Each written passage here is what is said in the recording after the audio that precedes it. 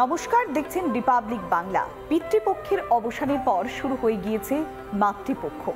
হাতে গোনা মাত্র কয়েকটা দিনের অপেক্ষা, তাই রিপাবলিক বাংলার সেরা সমস্ত পুজো আপনাদের সামনে আমরা তুলে ধরব। উত্তর কলকাতা মানে একটা বনে দিয়ে আনার ব্যাপার থাকে, সঙ্গে দক্ষিণ কলকাতার থিমের ছোঁয়া। থিমের ছোঁয়া নাকি সাবেকিয়ানা এই সমস্ত টক্করকে ভুলে আপনার, আমার সবার পুজোই দেখুন রিপাবলিক বাংলার সঙ্গে।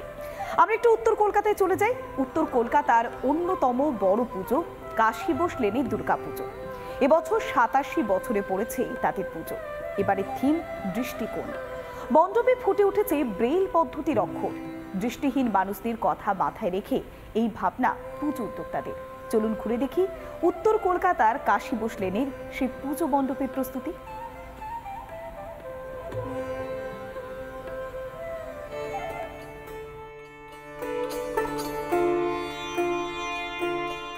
কাশী বসলেন। উত্তর কলকাতার অন্যতম বিখ্যাত এই পুজো। আর এই কাশী বসলেনের এবছরের ভাবনা, দৃষ্টিকোণ।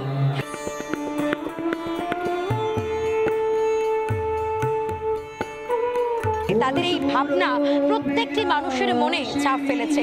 কারণ যারা চোখে ভালোভাবে দেখতে পায় না, যাদের দৃষ্টিশক্তি নেই সেই সমস্ত মানুষকে আজকে তারা একসঙ্গে করেছেন। ফিজিক্যালি চ্যালেঞ্জ যে তারা আছে, তাদের জন্য আজকে আমরা একটা স্পেশাল করিডোর করেছি। কেননা পুজোটা, মায়ের কাছে পুজোটা তো সবাই সবাইকার। সবাই সেই জায়গাটাকে অনুভব করুক, সবাই আসুক, সবাই দেখুক। একজন অন্ধকারে পড়ে থাকবে আর একজন আলোতে পড়ে থাকবে, তা তো হয় না। কাশি বসলেন, বরাবরই দর্শক বন্ধু পুজো এবং দর্শকদের জন্য ভালো লাগার মতন কিছু চেষ্টা করে তুলে ধরা। এবছরও আমরা করেছি। এবছরও আপনাদের আর বাং আর বাংলার মাধ্যমে আমি বলব যে আপনারা পুজোর সময় আসবেন।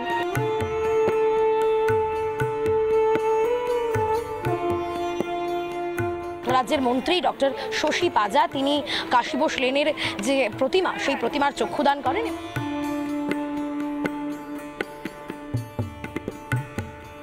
খুবই জনপ্রিয় হয়ে উঠবে বোঝা যাচ্ছে।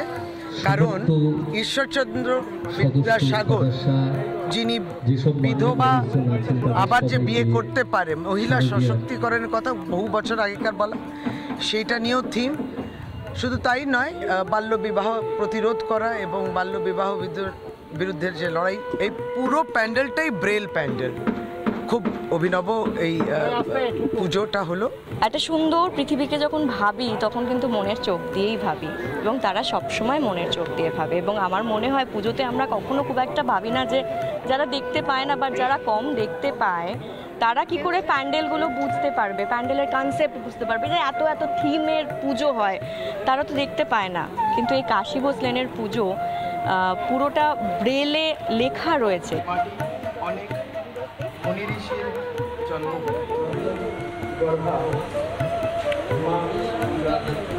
যাদের দৃষ্টিশক্তি নেই, তারা কিন্তু এই ব্রেল পদ্ধতির মাধ্যমেই পড়াশোনা করতে পারে, পড়তে পারে। আর সেক্ষেত্রে এই ব্রেল পদ্ধতির মাধ্যমে গোটা মণ্ডপ সেজে উঠেছে কাশী বসলেনের। ক্যামেরায় পার্থসারথী রায়ের সঙ্গে এলিনা ভট্টাচার্যের রিপোর্ট, রিপাবলিক বাংলা, কাশী বসলেন। আমরা উত্তর কলকাতার পুজোগুলোর দিকে নজর রেখেছি, কেননা বাংলার সেরা পুজোগুলোর মধ্যে অন্যতম হচ্ছে কাশী লেনের পুজো। এবার একটু গুটি গুটি পায়ে এগিয়ে যাই, কোথায় বলুন তো? হাতিবাগানের নবীন পল্লীর পুজো মণ্ডপে। এবার তাদের পুজো একানব্বইতম বছরে পদার্পণ করেছে।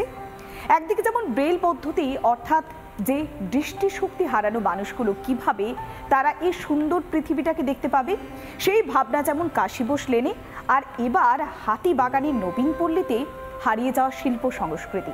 কীভাবে ফুটিয়ে তোলা হয়েছে? আমরা সরাসরি যাব আমাদের প্রতিনিধি প্রজ্ঞা রয়েছে আমাদের সঙ্গে। প্রজ্ঞা, বাংলার হারিয়ে যাওয়া শিল্প, সেই শিল্প সংস্কৃতি এবার পুজো মণ্ডপে। কীভাবে তাদের ভাবনা রূপায়িত হয়েছে পুজো মণ্ডপে? প্রজ্ঞা।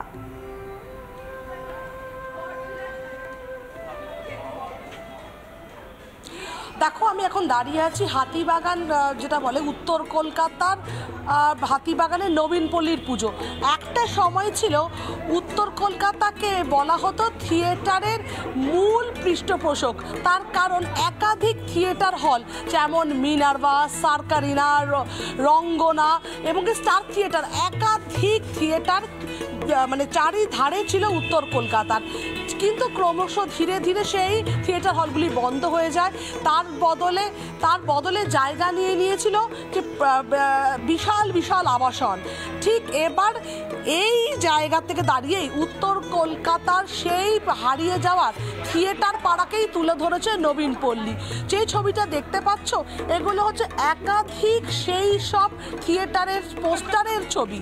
অত্যন্ত আকর্ষণীয় বিষয়টি। তার কারণ, এইসব পোস্টার আর পাওয়া যায় না। এই পোস্টারগুলি হারিয়ে গেছে সময়ের বিবর্তনের সঙ্গে সঙ্গে। আর সেই সব পোস্টার দিয়েই কিন্তু মণ্ডপের যে বাইরে প্রবেশের পথ এই দুধার কিন্তু সাজিয়ে তোলা হয়েছে।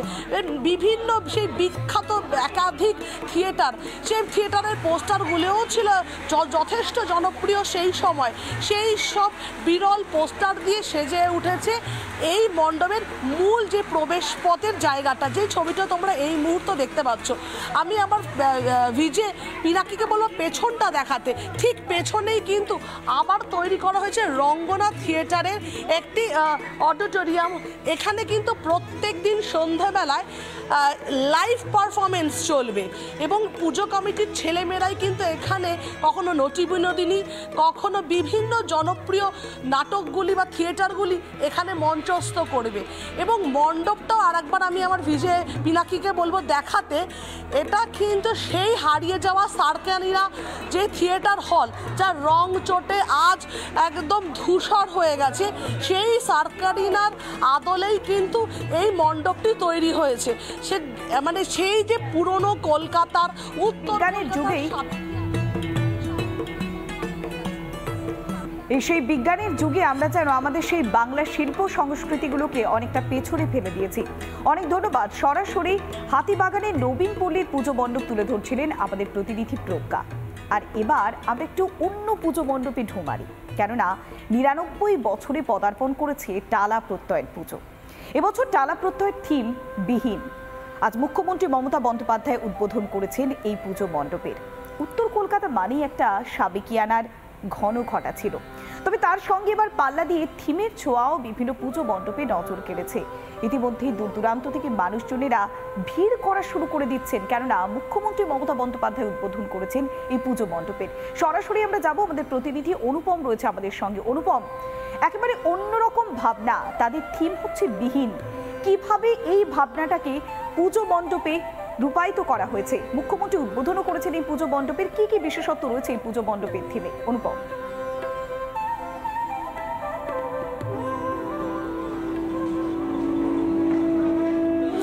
দেখো, তোমায় জানিয়ে রাখি যে এবারে যে মণ্ডপ বা যে ভাবনা টালা প্রত্যয় ভেবেছে, এই ভাবনা উত্তর কলকাতায় এবার প্রথম বলা চলে। মানে গত কয়েক দশকে প্রথম। এবং কিছুক্ষণ আগে মুখ্যমন্ত্রী মমতা বন্দ্যোপাধ্যায় তিনি আনুষ্ঠানিক উদ্বোধন করেছেন। টালার এবারে ভাবনা রয়েছে বিহীন। স্বাভাবিকভাবে একটা মেল, মেলবন্ধন ঘটানোর চেষ্টা কিন্তু টালা প্রত্যয় এবার করছে। এবং তোমাকে জানিয়ে রাখি যে টালা প্রত্যয়ে যে এবারে যে থিম বা ভাবনা রয়েছে, সেটা হচ্ছে মূর্ত এবং বিমূর্তর মধ্যে একটা মেলবন্ধন খুঁজে খুঁজে তোলার একটা প্রয়াস।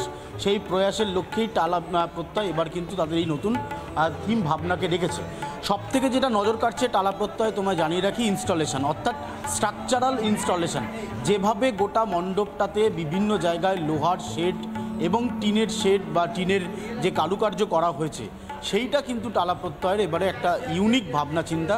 উত্তর কলকাতার অন্যতম বড় পুজো কর্পোরেট পুজো যদি তুমি বলো, তাহলে টালা প্রত্যয়কে কোনো অংশে পিছিয়ে রাখা যাবে না। স্বাভাবিকভাবে টালা প্রত্যয়ের কিছুক্ষণ আগে আনুষ্ঠানিক উদ্বোধন করেছেন মুখ্যমন্ত্রী মমতা বন্দ্যোপাধ্যায়। যখনই তুমি এই টালা প্রত্যয়ে প্রবেশ করছ, ঠিক দুধারে এভাবে লোহার স্ট্রাকচার তৈরি করা হয়েছে। এই লোহার স্ট্রাকচার দিয়ে তারা যে, এই যে বিহীন তাদের যে ভাবনা বা তাদের যে থিম সেটাকেই মূলত তুলে ধরতে চেয়েছে। যত ভেতরে যাবে, কেন কর্পোরেট বলছিলাম মণ্ডপে প্রবেশের পর থেকেই একেবারে একদিকে বিভিন্ন খাওয়া দাওয়ার স্টল রয়েছে বিভিন্ন মেলার আনুষঙ্গিক জিনিস রয়েছে। সেটা যেমন থাকছে গোটা মণ্ডপ থাকছে এবং এই থিম এবং এই ভাবনার সাথে গোটা ব্যাপারটা তারা তুলে ধরার চেষ্টা করছে। আমি এবার একটু ভেতরে তোমাকে নিয়ে যাব। তালা প্রত্যয়ের ভেতরটা দেখো। এই যে বিহীনের কথা বলছিলাম আমরা যে বিহীনের মাধ্যমে তারা একটা মূর্ত এবং বিমূর্তর যে মেলবন্ধন সেটাকে তারা তুলে ধরার চেষ্টা করছিল। সেটাই মূলত এবার তারা একদিকে মূর্ত ভাবনা- অন্যদিকে বিমূর্তর মেলবন্ধনে এই টালা প্রত্যয়ের পুজো মণ্ডপ সেজে গিয়েছে। মুখ্যমন্ত্রী মমতা বন্দ্যোপাধ্যায় তিনি এই পুজোর উদ্বোধন করেছেন আজ। তাদের ভাবনা এবার বিহীন এবার শহর কলকাতার পাশাপাশি আমরা একটু পাড়ি দিই কোথায় বলুন তো? জেলাতে। কেননা জেলাতেও পুজোর জমজমাট যে একটা আবহ, সেই আবহ বারবার তুলে ধরেছে রিপাবলিক বাংলা। উত্তর চব্বিশ পরগনার দত্তপুকুরে শিবালয়ের বুড়িমার দুর্গাপুজো।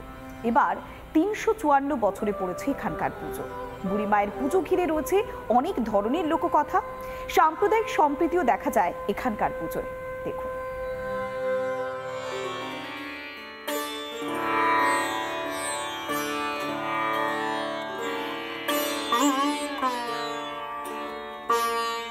রাজা কৃষ্ণচন্দ্রের বংশধর শিবচন্দ্র নৌকা বিহারে এসেছিলেন এই দত্তপুকুর শিবালয় এলাকায়। এখানে এসেই তিনি ঝড়ের মধ্যে আটকে পড়েন। সেখানেই তিনি ঘুমিয়ে পড়েন একটি পাড়ে। তখনই মা স্বপ্নাদেশ দেন তাকে মায়ের পুজো করবার। স্বপ্নাদেশ পেয়ে দেরি করেননি রাজা শিবচন্দ্র। দত্তপুকুরে তালপাতার কুঁড়ে ঘর বানিয়ে দেবী দুর্গার বোধন করেছিলেন কৃষ্ণপক্ষের শুরুতে। এরপর বসতিও গড়ে তোলেন রাজা। পরবর্তীকালে রাজা শিবচন্দ্রের নামেই দত্তপুকুরের এই অঞ্চলের নাম হয় শিবালয়। কৃষ্ণা নবমীতে মায়ের বোধন বসে যায়। শুক্লা নবমীতে গিয়ে পুজো শেষ হয়। মায়ের হাত এখানে দুটি বাকি আটটি লুকোনো থাকে চুলের মধ্যে। সিংহ ও ঘোড়ার মিলিত রূপ থাকে সিংহ বাহিনীতে। থাবা সিংহের মতো হলেও দেহ ঘোড়ার মতো। চণ্ডী রূপে পূজিতা হন মা। চারটে পরিবার মিলে আমাদের পুজোটা হয়। সাতশো আটশো হাজার মতো লোকের ডন্ডি ঘাটে অষ্টমীতে। হোমের যজ্ঞের কলা খাওয়ার একটা প্রবণতা যাতে সন্তানাদি না হয় তারা এসে যজ্ঞের কলা টলা খায়। এরকম ফলও হয়েছে বেশ কিছু। আমাদের এখানে যেমন বলি হয় আখ চাল কুমড়ো কলা এই সমস্তগুলো বলি হয়। এলাকাবাসীর কাছে খুবই জাগ্রত বুড়িমা। এই পুজোর মাহাত্মের জন্য দূর দূরান্ত থেকে ভক্তরা ভিড় জমান মন্দিরে। পুজোর কটা দিন এখন রায়বাড়ির সদস্যরাও। খুবই আনন্দ। প্রচুর লোক আসে জন আসে আত্মীয় স্বজনরা আসে। তখন এখানেই আমাদের সব কিছু আনন্দ হয়। তারাও আসে।